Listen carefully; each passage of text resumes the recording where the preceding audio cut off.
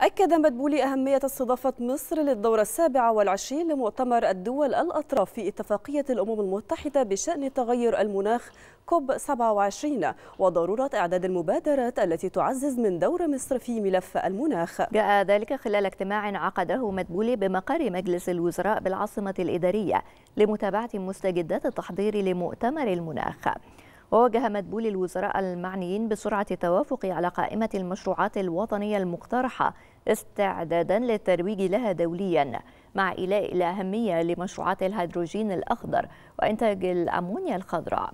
كما تم استعراض تطورات التعاون في مجال صناعة المركبات الكهربائية ومشروعات إنتاج الأمونيا الخضراء ومشروعات النقل الأخضر المستدام بما في ذلك القطار الكهربائي الخفيف.